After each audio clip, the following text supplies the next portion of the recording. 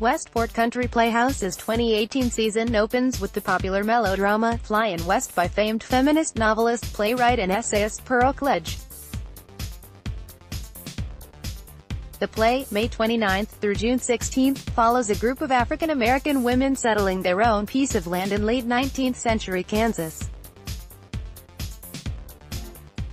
These forthright, independent women are trying to escape not just racial injustice but male chauvinism.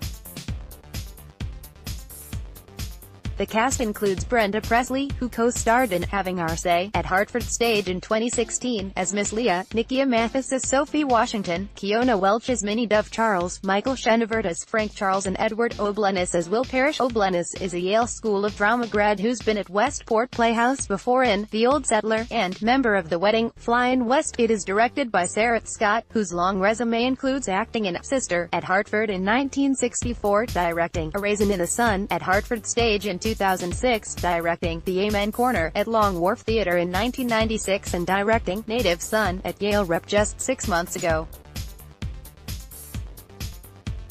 Performances are Tuesday at 7 p.m., Wednesday at 2 and 8 p.m., Thursday and Friday at 8 p.m., Saturday at 3 and 8 p.m. and Sunday at 3 p.m.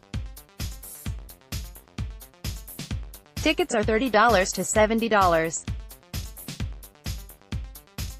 203-227-4177, westportplayhouse.org.